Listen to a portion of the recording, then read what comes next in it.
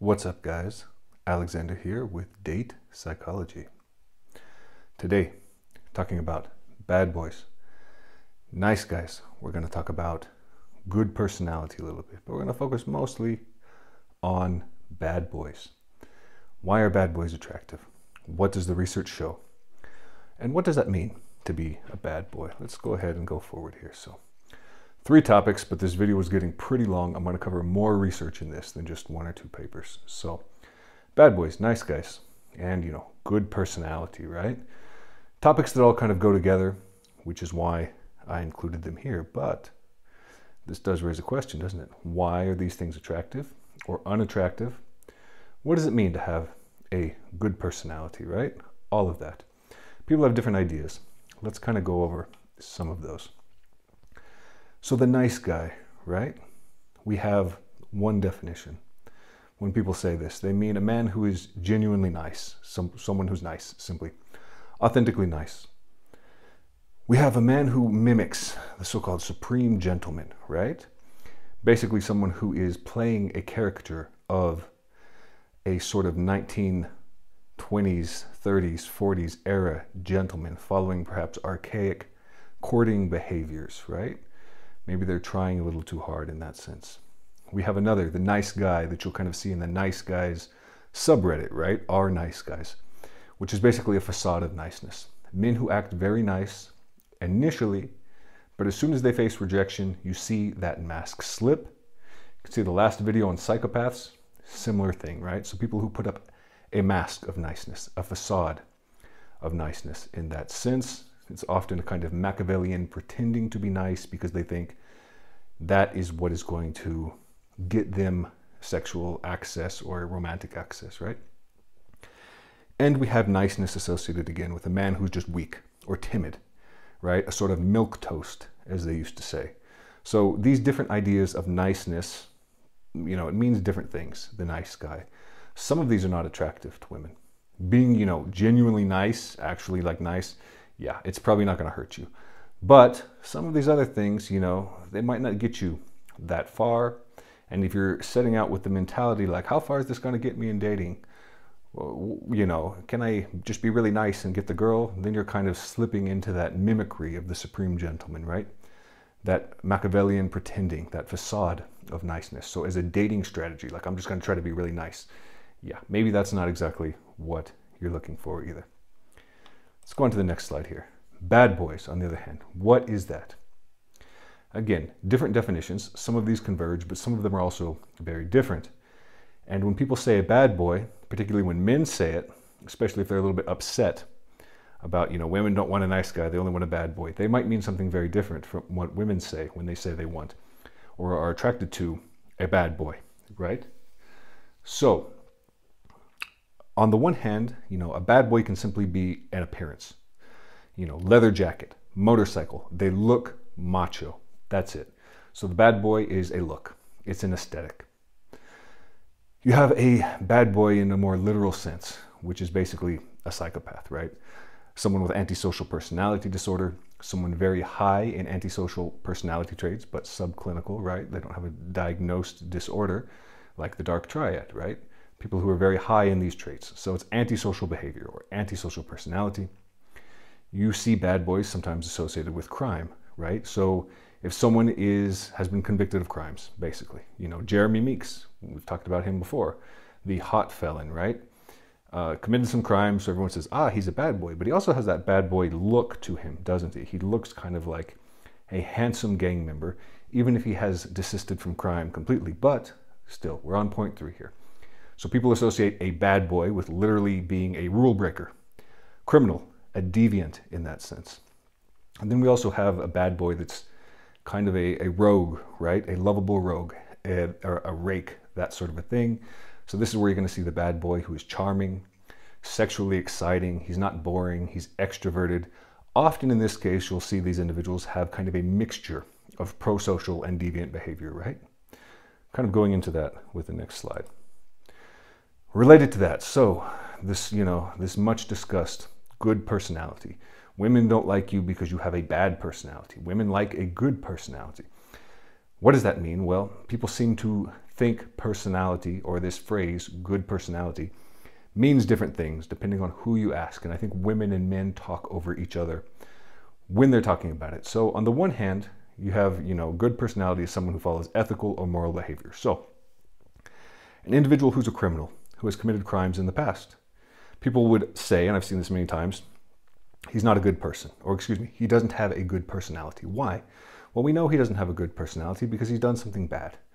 Okay, so a good personality in this definition is simply someone who is very conventional, that's a rule follower, right? So, also kind of related to the nice guy. And so you see an overlap between what people interpret as having a good personality and being a nice guy in the sense often of being someone who's kind of uh, straight laced, who's afraid to break rules, who's probably more timid and that sort of a thing. On the other hand, when people say good personality, and I think this is what women mean more, and when I talk about good personality in the context of dating, attractiveness, that sort of thing, this tends to be what I mean. Uh, what is a good or bad personality in a dating context, right? Is defined by what's attractive to the opposite sex, not what is necessarily ethical or moral behavior. So some of that behavior can be antisocial, some can be pro-social, and some can be just completely ambiguous, right? So what's a good personality? Uh, extroversion seems to be more attractive than introversion, right? So someone with a good personality, you might say, you know, being extroverted is having a good personality. Although being extroverted is not a moral good or bad. It's ambiguous, right? It falls into the ambiguous category. You're not a bad person for being an introvert. You're not a better person or whatever. Something like confidence as well, right? You're more confident, or even something like risk taking. These are not things that make someone good or bad in an ethical or moral sense, but they may make personality combinations, expressions of personality through behavior that are more or less attractive. And when people say a good personality, that's often, you know, I should say, when women say good personality in the context of what is attractive in a man, it's often some mixture of things like this, mostly traits that are ambiguous and pro-social, but sometimes some antisocial traits, right? For example, you know, women might want a man who's capable of fighting other men. Simple as, you know, good evolutionary explanations for that. So, you know, someone with a criminal record might seem more attractive because at least it signals, hey, this is someone who's capable of doing something. Which is also very different from saying this is someone who's going to do that to me, right? And we'll go into that a little bit later because, again, personality, behavior, if someone is a bad boy or a nice guy, it's not just about how they express themselves towards a woman that they're interested in, but how they interact with the world around them. And there may be expressions toward the world outside of the relationship dyad, right? That are seen as attractive that would not be within the relationship, right? You get in a fight at a bar because someone insults you, whatever. Maybe, you know, maybe that could even be kind of hot. You get in a fight with your wife because she insults you and you hit her in the face. Yeah, that's not something that women like at all, even though the behavior is kind of similar, right? So it's context dependent behavior, personality, and all of that. Let's go on here to the next slide. We're going to look at this paper first. It's called Bad Boys, Bad Boys. Who's Got a Thing for You? Examining the Sexual Appeal of Bad Boy Archetype. And in the introduction of this paper, the discussion section, they mention two characters. I think this is from Happy Days or, I don't know, an old TV show, but I remember watching this. And we have Fonzie and we have uh, this other guy. Some of you will remember him, but I, I don't. And we have here a bad boy and a nice guy archetype. And these are two characters that throughout the show were depicted uh, in their relationships being very different because of that. Fonzie, of course, had a lot of success with women, right? He, he had no problem. He would snap his fingers and the women would come, I think almost literally in some of these, these episodes. The other guy, you know, the whole plot, the narrative was like, I'm always struggling to get a girl. How do I attract a girl? And so on. And so here you see something that is image because you didn't see a lot of antisocial behavior in these shows, but you see Fonzie, he wears a leather jacket. He's got that greaser look to him, right? He's got the shirt on underneath that and the image of the time of a bad boy. He rode a motorcycle. Uh, his face is a bit more dimorphic, a bit more masculine as well. So that's another thing you might see associated with a bad boy physically, right? Because we're looking here at kind of that first definition of the bad boy, the appearance, that there is an appearance physically that distinguishes someone who looks like a bad boy from a nice guy that's already, you know, preceding whatever their actual behavior is. But that doesn't mean that the behavior is not important. We're going to talk mostly about that. Let's go on to the next slide. As I mentioned that, uh, facial dimorphism in the case of the Fonz, right? More masculine face. So a more dimorphic face, in other words. This study, they did a couple of, well, they did an experiment using dating apps and they modified photos, right? You can edit these with an image editor to be more or less masculine. So the same male faces, edit them up a little bit. Some are more masculine or more dimorphic. Some are less masculine or less dimorphic. In this paper, they called these the high testosterone and low testosterone faces, but there's not much of an association between, sir, in fact, it's pretty much zero, between serum testosterone and facial dimorphism, right? That's something in your genes that will be determined as well in prenatal development, right? In the womb of the woman. But, and testosterone can, yeah, certainly impact that in fetal development. But as far as like, can you tell if someone has high or low testosterone from their face? Typically not, right? So, you know, the soy boy face thing, it's not real. But they called that that in this paper anyway. They didn't really explain or justify why. So I'm calling it facial dimorphism. I think it's more accurate. And then in the profile, they had two conditions. So you have a bad boy profile that says, you know, I drive this kind of bad boy car and I like to do uh, extreme sports and all of that. And then you have the good good boy car or the nice guy profile, excuse me. And it's like I drive a, you know, Toyota and you know, I'm I don't like to take big risks and all of that. So you have, you know, a 2x2 ANOVA. So you have, you know, face, masculine, feminine, bad boy, nice guy gives you four combinations, two by two. So let's go on. Here are some results kind of describing these. Uh, you have, you know, uh, well, yeah, going right into the results, okay? So the face that was high in masculinity, but not the bad boy profile, was rated as the most desirable.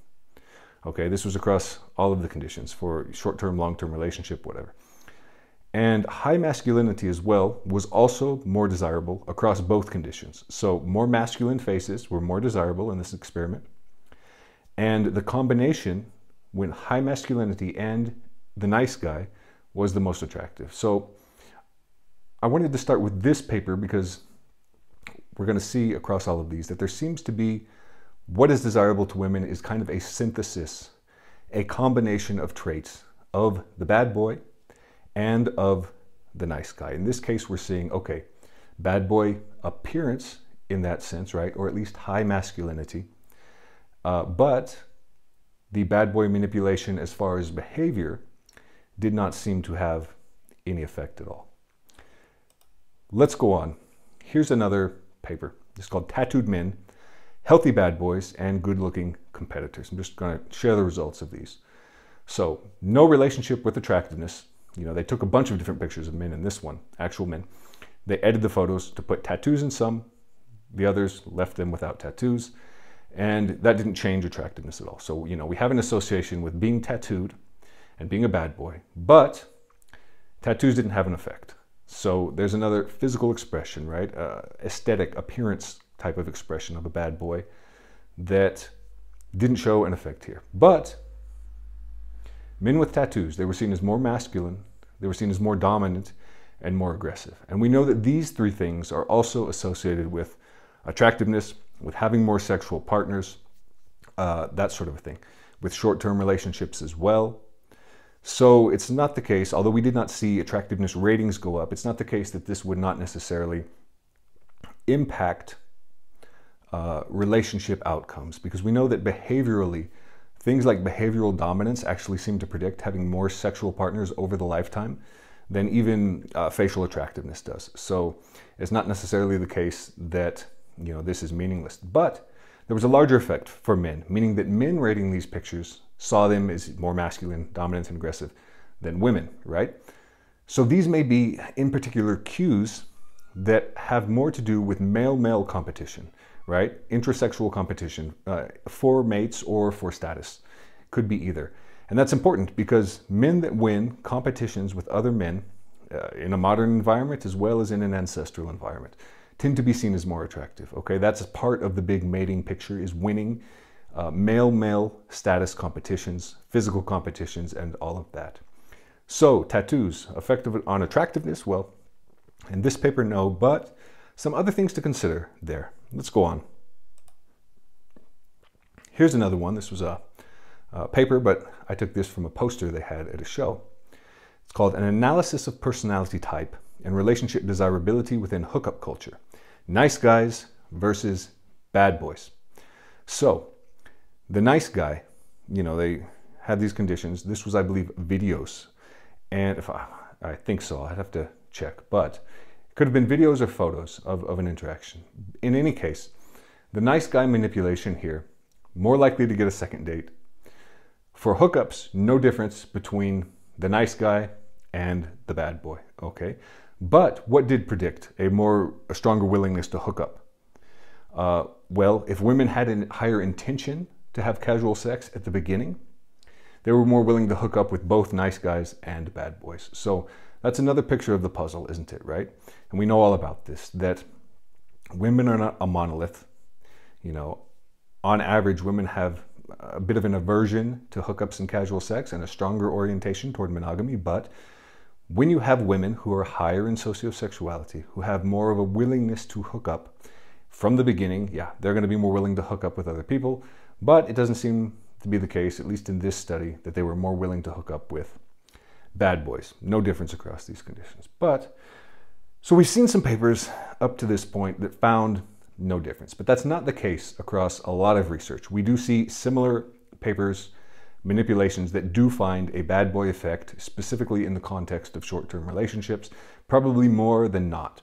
And I don't know if any kind of meta-analysis has been done on this to know how large this effect is or how consistent it is across the research, but from what I have read, you know, okay, the bad boy attractiveness thing is real.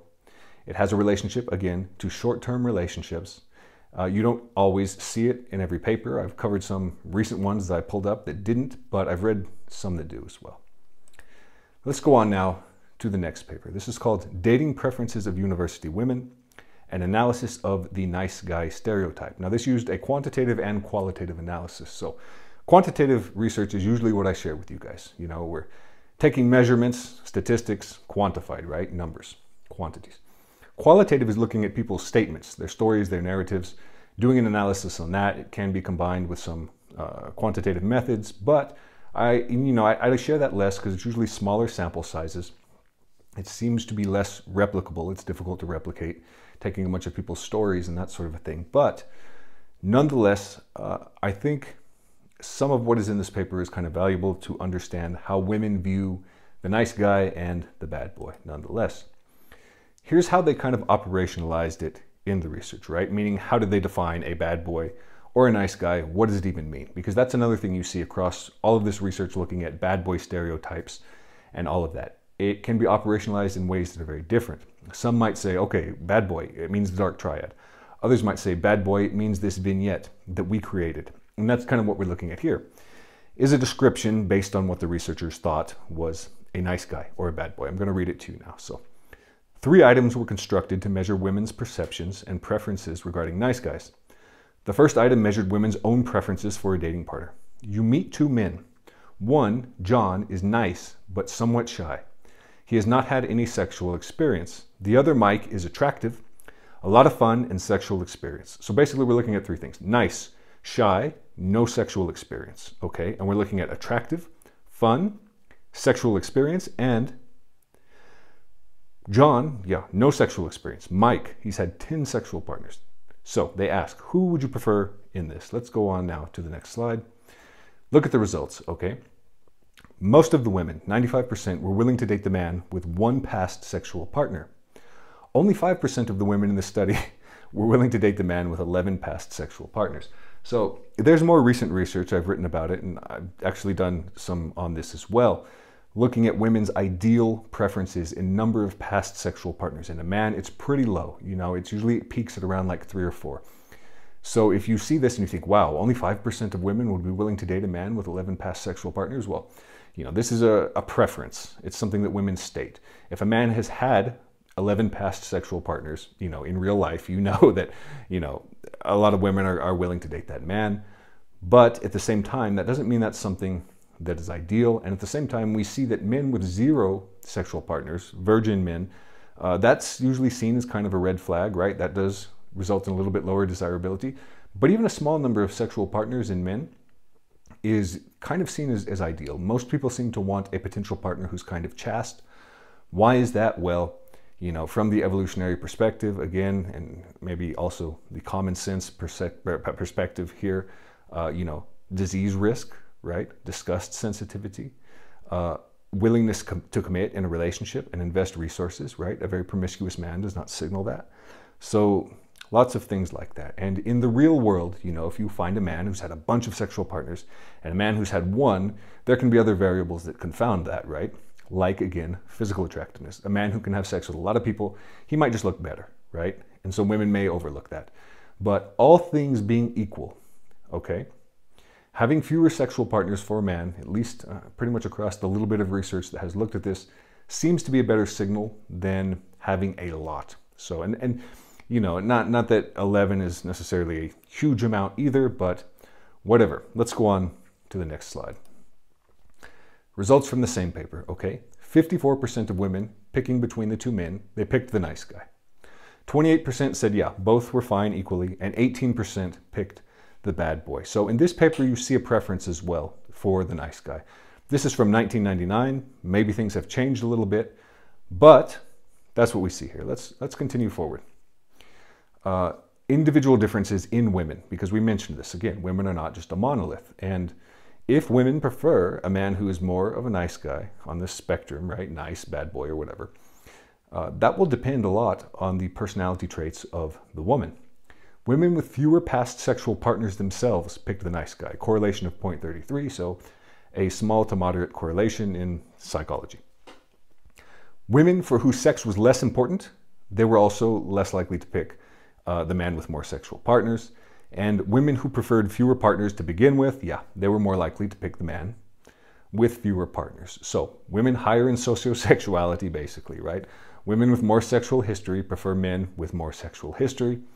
Women with less sexual history tend to prefer men who have less sexual history. You know, kind of a rule across mate selection called assortative mating. People pick partners that are similar to them some of that is assortment from the environment because they're exposed to people like that.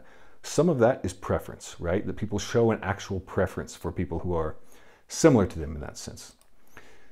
Let's go on. We're going to look at the qualitative assessments in this that I mentioned at the beginning. So, personality differences. What's nice and bad even mean? What, you know, are the style that nice guys and bad boys interact with women? How do they differ?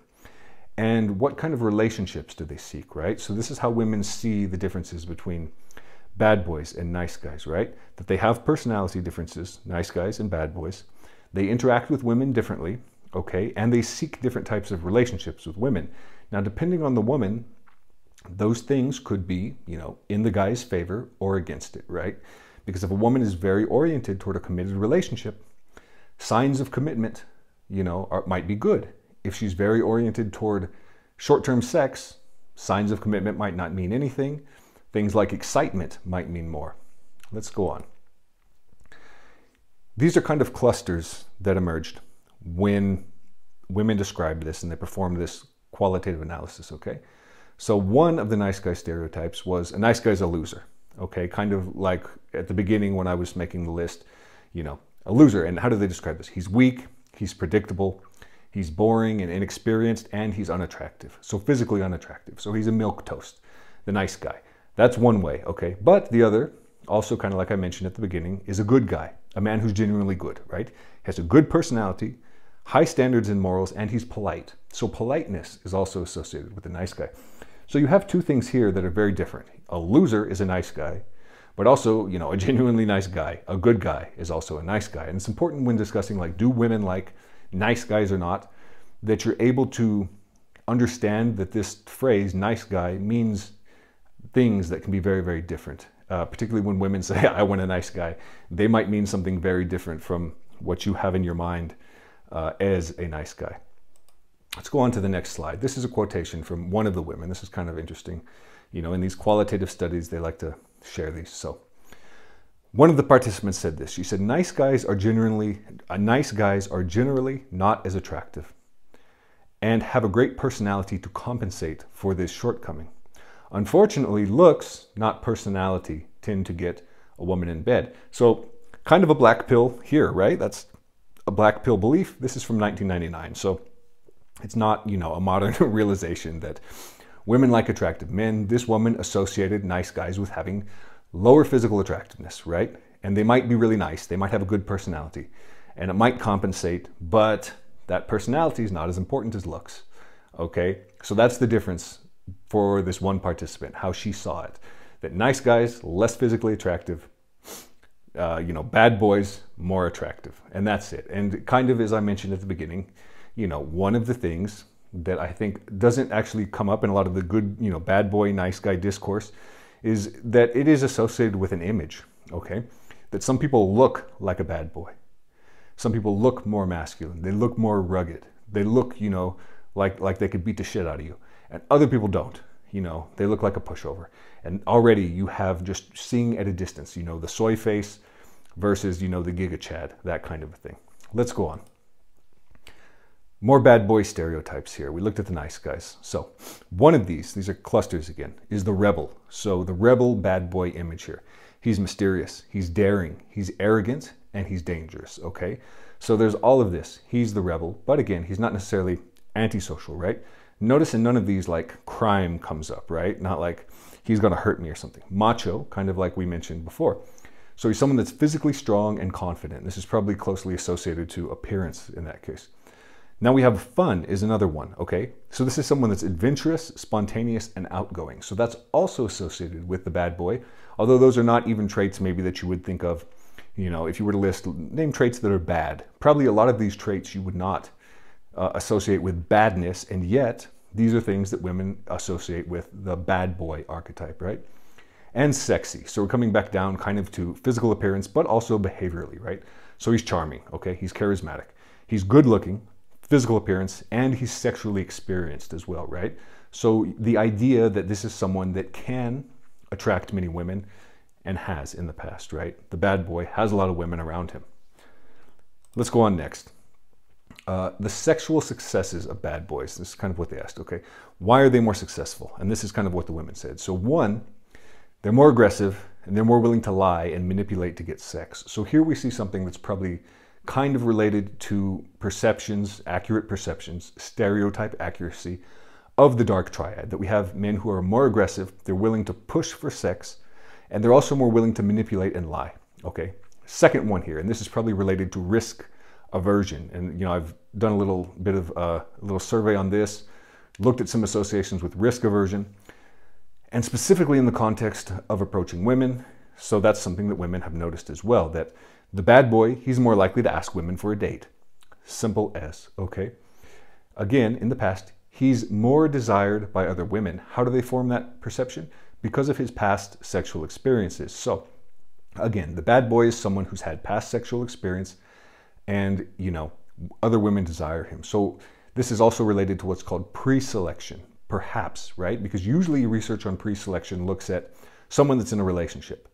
And you know, they've done studies where a man is wearing a wedding ring, he's not, and the man with the wedding ring is seen as more attractive. So even men in long-term relationship contexts seem to get a benefit from pre-selection. Having been selected by women, it's possible that, you know, having past sexual experience with women does that as well, but you know, there's probably a confounder there as well in real life, uh, as opposed to these experimental manipulations, which is that if a man has had, you know, a lot of girlfriends, he's had a lot of past sexual experience, there's reasons for that, you know.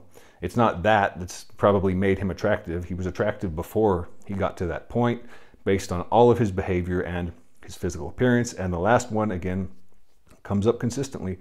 Uh, he's more physically attractive. So, again, what is being a bad boy? In part, it's simply being more physically attractive. Okay, it's not just behavior and all of that. There is a look, a physical look associated with being a bad boy. Men who are more attractive are going to be seen more as a bad boy. You know, a stereotype. Probably one of those stereotypes uh, contrary to the halo effect because we know that physical attractiveness, for example, uh, is associated with perceptions of positive personality traits. This is called the halo effect. But we do see some sort of reverse halo effect, uh, sometimes called, you know, the horns effect. Women who are more attractive are sometimes seen as less competent, for example, right? You have like a bimbo stereotype. Men who are more attractive and more attractive women as well, sometimes they're seen as less trustworthy uh, also. So that can also kind of contribute. So there are a few, you know, downsides to it. Mostly, you know, physical attractiveness is associated with positive perceptions. Let's go on to the next slide here, okay? Another paper, this is called The Perceived Attractiveness and Traits of the Dark Triad. Narcissists are perceived as hot, Machiavellians and psychopaths not. So people talk about the dark triad a lot and there's even you know pickup courses online from you know like anonymous people writing from the basement that are saying i'm going to teach you how to be more dark triad. You're probably not going to be more dark triad if you've ever seen like the items on a scale like this.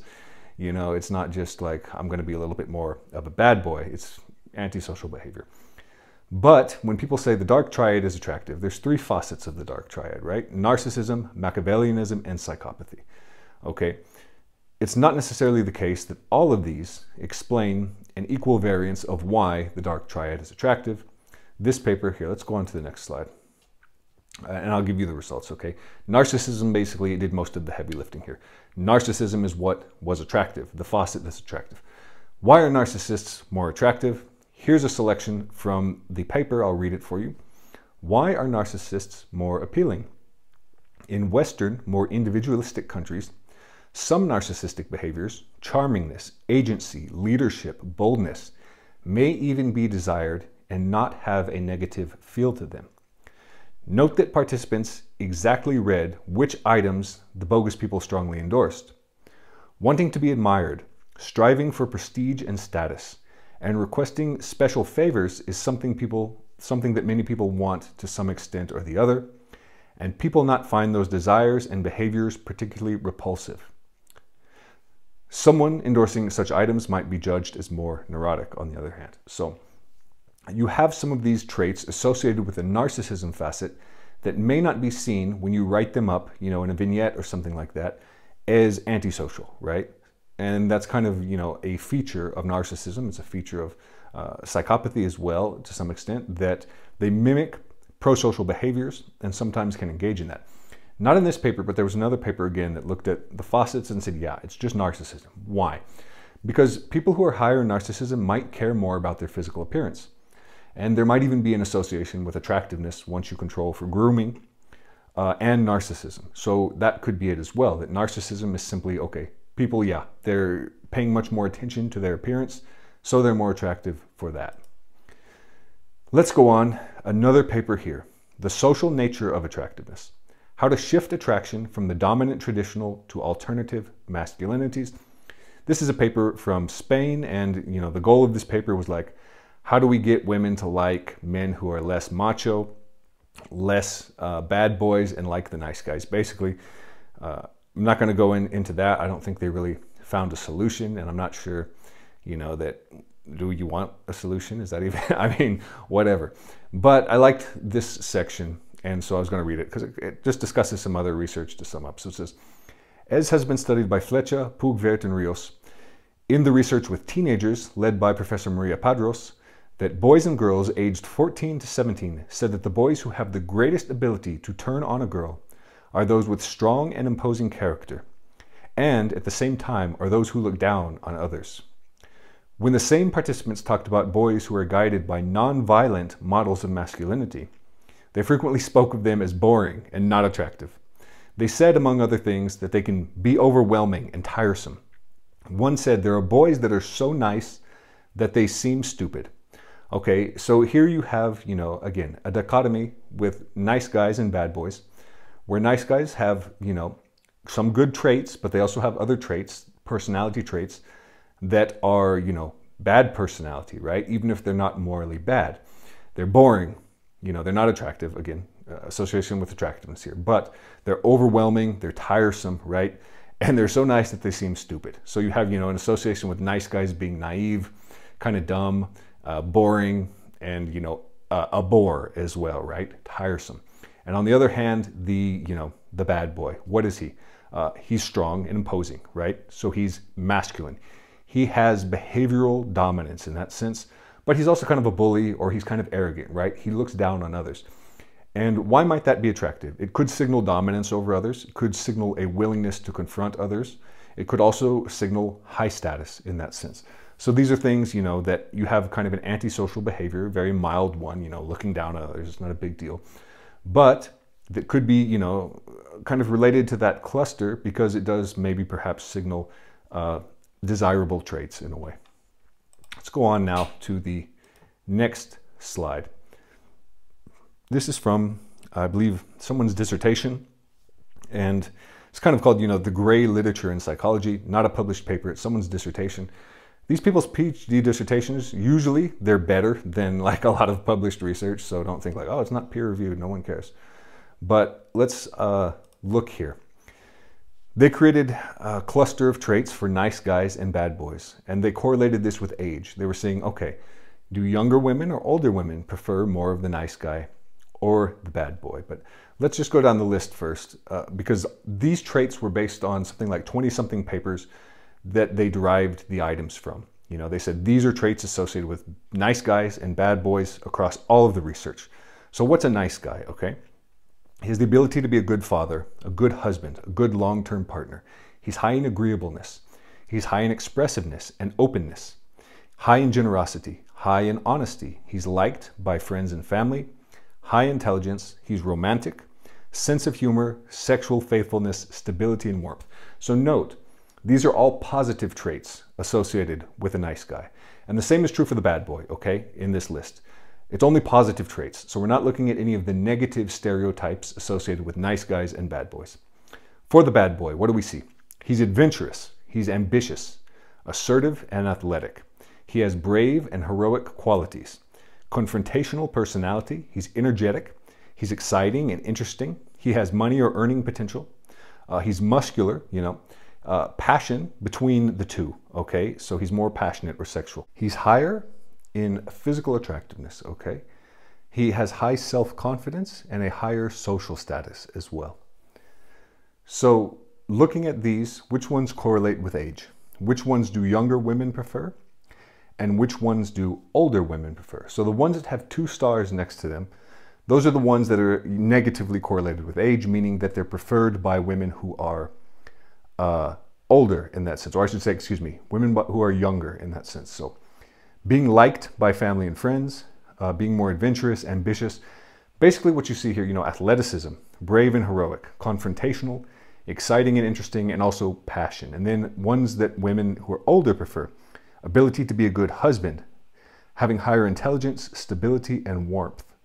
Okay, so what do we see? Let's just go on to the next slide right off the bat we see that age was associated with 8 out of the 15 bad boy traits and only 4 out of the 13 nice guy traits. So these nice guy traits, if they're desirable, they seem to be a little bit more stable over the lifetime, whereas younger women seem to express a stronger preference for a bad boy, you know. So maybe that's kind of a kind of settling down as time goes on or a maturation in that sense, whereas women get older, they become a little bit more mature, they don't value uh, some of these what are essentially youth behaviors more, right? Like higher athleticism, you know, men in their mid 30s on average, you know, they're not looking that great. They're not typically really high in athleticism and all of that, you know, confidence, adventurous, you know, men are settling down at that age. So you kind of see a congruence between female mate preferences and the way that male behavior changes with age. They're kind of settling down a little bit in that sense. But, you know, if it's 8 out of 15, 4 out of 13, you tend to see that whatever traits are preferred uh, across, you know, at a young age. A lot of them still are preferred at an older age, some stability, but also some age differences. Let's go on now. Final thoughts here. What can we glean from all of this, these nice guy things? So, I guess, you know, mentioned at the beginning, nice guy, bad boy, they mean a lot of different things. You know, don't assume that what you think of as this is what women think or what another guy is saying you know, or that it is the definition. What you're thinking of as a nice guy or a bad boy could be very, very different from what a woman says when she likes that. And, you know, if understanding dating and attractiveness, intersexual dynamics, and all of that is important to you, you have to develop kind of a good theory of mind, you know, particularly for the opposite sex. You have to come to learn to understand, you know, what women mean when they say something, not just what it means to you.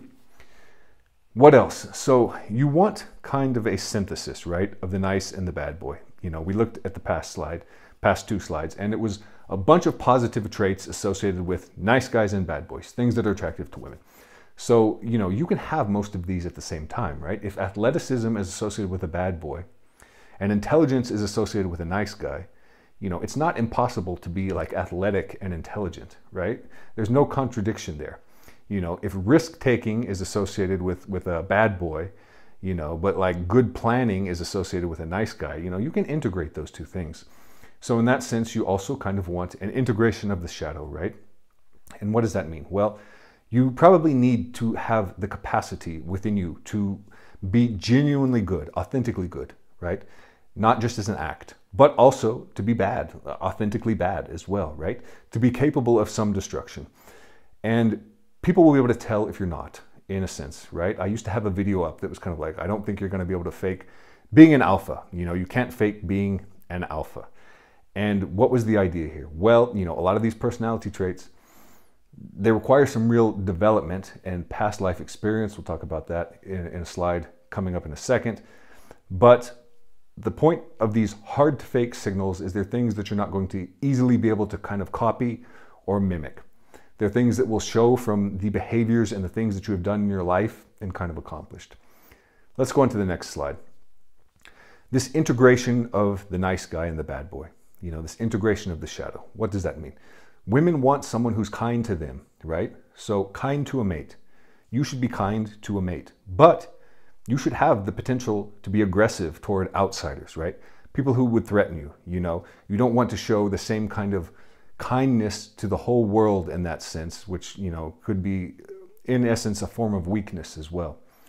The bad boy, you know, he is attractive because he's able to attract many women. Why? In part, probably because of physical attractiveness, right? But also because of behavioral dominance, behavioral masculinity, and all of that. So, the bad boy is able to attract many women, but, and the nice guy, you know, he's not. But at the same time, what do you want to be? You want to be able to attract many women, but committed to one, right? That's kind of what women are looking for. And you can see this as a theme in erotic literature, right? There's been studies on this, that this is a very pervasive theme, that a lot of the heroes in this, you know, they have an archetype of a bad boy. You know, he's a billionaire or a vampire or a werewolf or whatever. He's really wild. You know, he has a lot of women around him, some sexual experiences with him and all of that. But by the end of it, he's committed to the hero or the heroine of the story, right? He's committed to her. So that's it. You know, women don't want a man who's undesirable to all of the other women, but it's not an effect of, you know, uh, like, well, I got to get a lot of women, so I'm desirable to more women. It's because he has those traits to begin with. They do want a man who is able to attract other women, but who is committed to them. Very important, okay? Risk taking behavior, you know, we saw that, for example, in the willingness to approach women for a date. You know, not a huge risk, but for some, but still, it's terrifying, right, for a lot of men to approach a strange woman. So I say, not a huge risk. Nothing's going to happen to you you know, in most cases, but it's really hard to do. It's scary, you know, for most men to do it. So, risk taking behavior, you know, you jump off a cliff, you whatever, uh, whatever. Lots of risk taking behavior, but that does not mean putting a mate in harm's way, right? Women might want a man who's able to take risks, who's not afraid, who's confident, who's bold and heroic, but at the same time, who's not going to hurt them, right? Who's not going to put them in risk, because it's very different for you to take risks than it is for you to put your mate at risk, right? You taking risk signals, you know, from the evolutionary perspective, in part, a willingness to protect, a willingness to take risks on behalf of the other person in that relationship dyad, right? In that pair bond. But putting your mate at risk, you know, that's cost inflicting. That is not something that is sought. So again, you know, it's situational, it's contextual. It depends where the risk is directed. That's something that you kind of have to learn over time. Let's go on here to the next slide. Traits we see, right, associated kind of, you know, with with the bad boy, but that are maybe ambiguous or good, right? So we've seen it. He's adventurous, he's brave, he's confident, all of that. But he's also not exciting, he's not boring. And the last one here, I said he's not a little pussy, okay? Some people won't like that. They'll say it's misogynistic language or whatever. But I think that's actually something that, you know, goes through the minds of, of a lot of women. You know, they don't want a fucking wimp. What more can be said about that? You know, you can't just be a little pushover, right? And nothing about not being a pussy or not being a little wimp or whatever the case may be, you know, uh, doesn't make you a nice person or a kind person or a good person, right? Those are very different things. There's, there's no reason that the two can't exist, you know, within the same individual. Last slide, because I know people are going to ask, uh, how do you do it? How do you become more of a bad boy? And fewer people will ask, how do you become more of a nice guy? Why? Everyone thinks they're a good person. No one, you know, it's much easier, you know, to say, I don't have bad traits and I need to get more bad traits than it is to really look inside yourself and say, you know, I'm actually kind of, you know, not a good person. I have all of the nice guy traits that are weak and I don't have any of the virtuous nice guy traits, but, you know, that actually are attractive to women. But whatever the case may be, how do you do it? I don't know, man. This is not, you know, uh, self improvement advice channel. This is a psychology channel. So I don't have any big solutions from you. I will tell you, you know, that pickup artist number 2437, uh, you know, on Twitter or whatever with, you know, a picture of a statue for his profile picture is not going to give you the secrets in his PDF, but I will tell you some other things kind of related to that video I mentioned, you know, that I used to have that was, you know, I don't think you can fake being an alpha. Why? All of these personality traits are heritable. Okay, so there's a genetic component to them, which doesn't mean it's entirely genetic, you know, or fixed, that there's nothing you can do. But it is difficult to shift personality long term over time. When people do this, and there's been recent research on this that indicates, okay, personality can have large shifts when people have major life experiences, okay? So that's another thing too. You know, if, if you want to change your personality in big ways, you probably have to change your behavior and your life in big ways as well you know, you want to be a bad boy or whatever. I guess you got to do, you know, bad boy things consistently. You have to live your life like that. There's no other, you know, way around it, or you have to have had done it in the past at least, right? If you if you have no life history like that at all, you know, you can't expect to just start acting differently. It's not going to work. Okay, but you can seek out, you know, uh, behaviors that might push you in that direction. You know, challenge your fears. Okay, Things that you're afraid of, try to do those so that you're not afraid anymore. The more things that you do, you know, that you're afraid of, you'll stop being afraid of them. If that means approach women or jump off a cliff, whatever the case may be, you know, join the military, join a gang, I don't know, don't do that. But examples, okay? You know, you have to uh, seek out risks in that sense, take those risks and become, you know, kind of accepting of that so that it doesn't, you know, make your heart kind of leap into your neck every time you do something. Anyway, a little bit longer of a video. Hoped you liked it. We've gone over some research. Uh, like, subscribe, hit the bell. I will make another video for you very soon.